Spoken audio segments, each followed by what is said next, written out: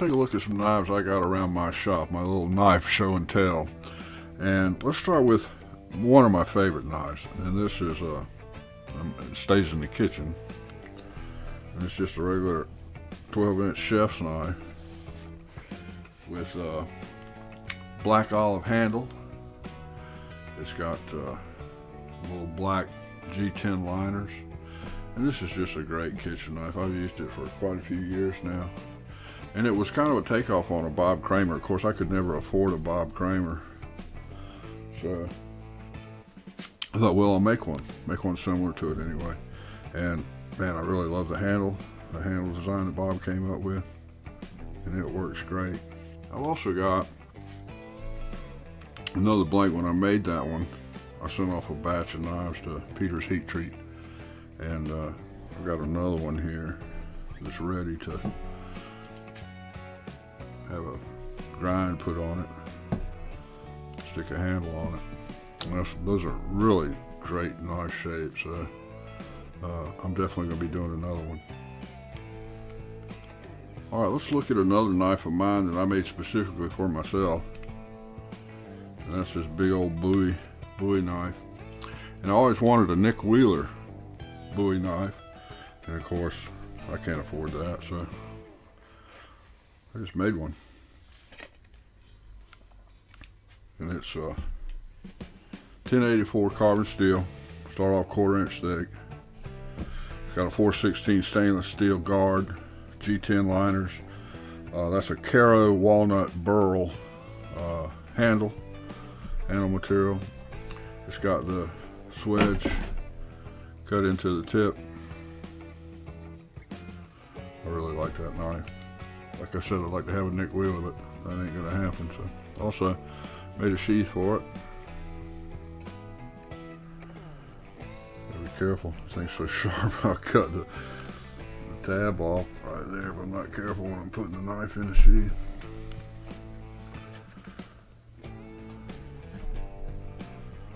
Alright, so there's my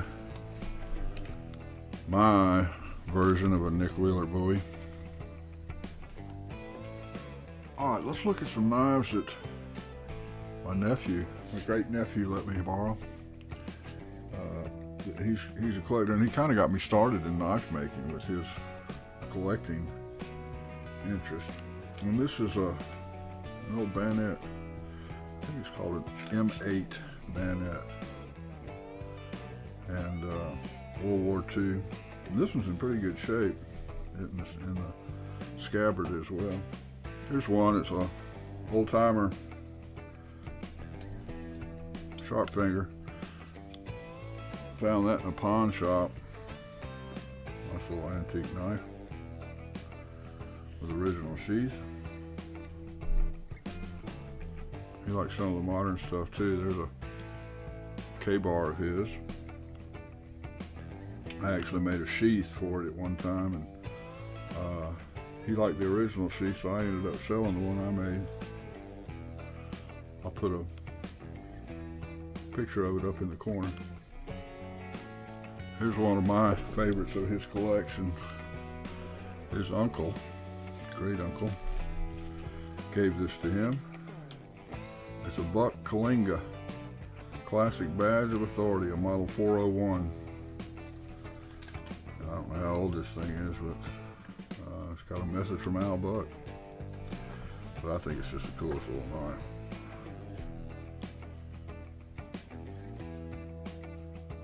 I've been being with his uncle and a red lobster. He went over to the lobster tank and picked out the biggest lobster he could find. They brought it to the table. he whipped this off of his hip, started agging on it. Anyway, cool knife. Nice of him to give it to my nephew too. Here's one that uh, I bought off of eBay actually. It's a Western W36 hunting knife. And I uh, I made the sheath for it. That's a cool little hunting knife. This one I made, 1084. I believe that's a maple handle, maple curl, burl, not burl, but curl of flamed maple. And it's got uh, brass and uh, epoxy filled pins. I like that one too. Another one of mine is this animal. it is a uh, oyster knife.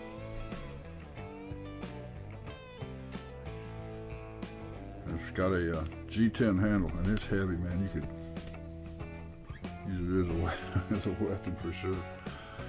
Made a sheath for it as well.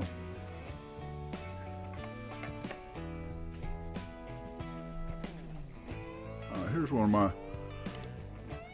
early efforts as a hunter. G10 liners, that's an olive wood handle. Here's another one. I'm not sure what that handle is, to be honest with you. I'd have to go back in my records and look it up. Brass guard, G10 liner.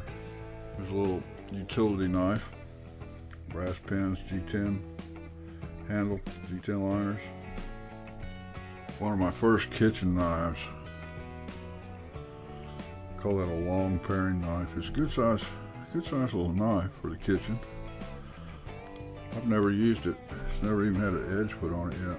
So it sits in the knife collection drawer. Let's look at some uh, some projects that are in the process of being made. This is a a razor, a prototype for a razor that I started on. It's got the jimping on the handle, little whale tail. You should hold it something like that. But that's just a prototype. I need to need to do some work to it. More projects that I've never completed. This is a 1084 chopper. Need to finish that up. That'd be a cool knife. Chop ping pong or golf balls in half. Here's another little mini cleaver I found in the shop that needs to be heat treated. Put a handle on. I've got a bunch of heat treated blanks that I sent off to Peter's heat treating. There's a Gyuto that I need to finish up. A little petty. I like these little petties. Nakiri. Japanese style knives. Got a little paring knife. Heat treated, ready to be ground. And of course you've seen that chef's knife. Bob Kramer type chefs. And we've got some little small, this is a little folder. I don't know what that is. That's, I can tell that's 1084, but this little utility knife I need to finish up. A little, I forget what you call this. Got some rust. I can tell it's 1084 because it's starting to rust.